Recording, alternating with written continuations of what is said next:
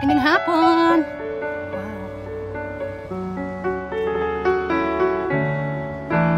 This is the pink cherry blossoms.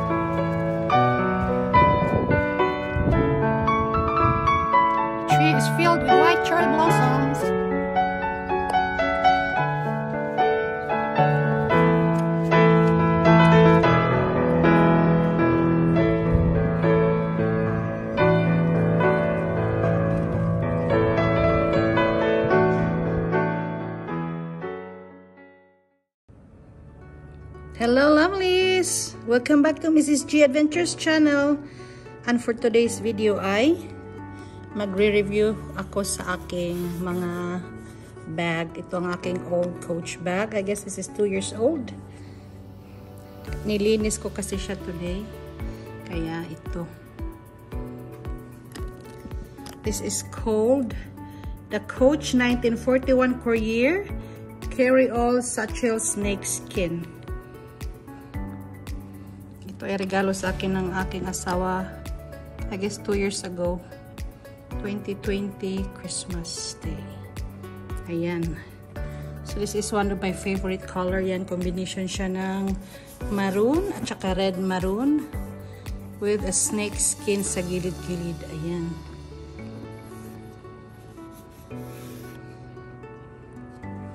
I like everything about this. Para siyang Celine. Para siyang Celine na bag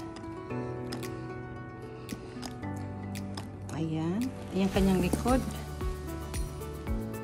Meron din siyang pang ano, pang sling bag. Pwede mo din siyang tanggalin. Ayan. This is one of my favorite. Ayan. Meron siyang ano dyan, pocket sa, sa labas.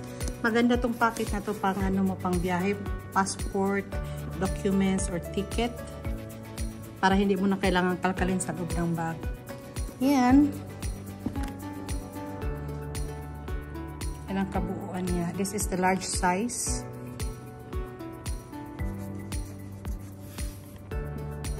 This is the high-end coach bag. Hindi naman to siya masyadong mahal.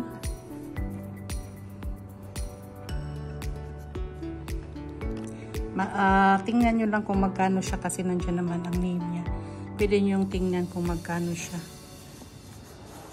Ang bag kasi, hindi mo naman siya kailangan gamitin lang one time lang. Para din siyang investment.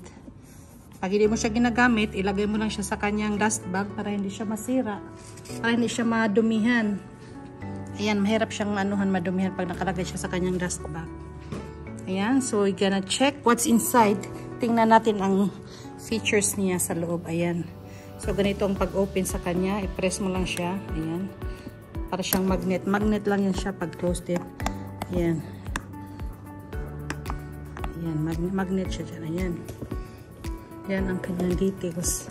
Tingnan nyo ang details ng kanyang pagkatahi. Diba ang ganda? Ayan. Magandang detalye ng kanyang pagkagawa. Pulidong pulido.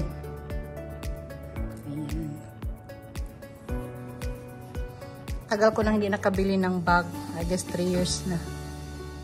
Kasi madami akong ano, nandyan sa gilid. Lalo na nung pandemic kasi wala nang pupuntahan. Simbahan na lang. Ayan. Pag inaalagaan mo ng mabuti ang iyong mga gamit, magtatagal talaga siya.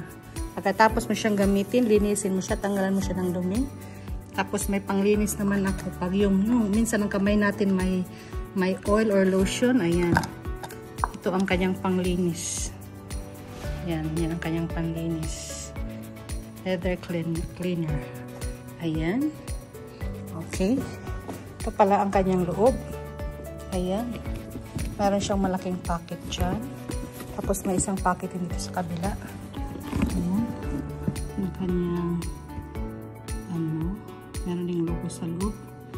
Kanyang serial number. Ayan. Ayan ang kanyang ano. Aray, mahirap talaga mag-video pag isa lang kamay na ginagamit. Ayan. Tapos meron siyang zipper. Meron siyang zipper. Hindi ko pa natagal ang plastic. Kasi ang kamay ko palaging madumi para hindi madumihan. Yan. Yan, mayroon pa rin siyang ano, hindi ko tinanggal. Ayan. I like everything about this bag. Ang kulay, ang size.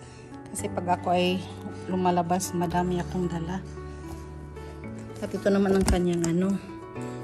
Meron siyang, anong tawag na dito? Fit. Fit yata. Yan. Genuine, genuine glove stud leather. Meron siyang apat na paa. Para hindi siya madumihan. Tingnan nyo ang linis-linis niya pag pinatayo mo siya kung saan siya ilagay, hindi siya diretsong ano, hindi siya diretsong nakaupo sa surface kung saan man. Ayan. Overall, I like this bag. At madami kang pwedeng ilagay sa loob. Pwede mo siyang gamitin ganito. Two ways to carry this bag. Ayan. Tapos pwede mo siyang isabit sa iyong shoulders. Yan, mahaba din ang kanyang ano, mahaba ang anong tawag nito? Ayan. so this is a combination of brown uh, red and maroon.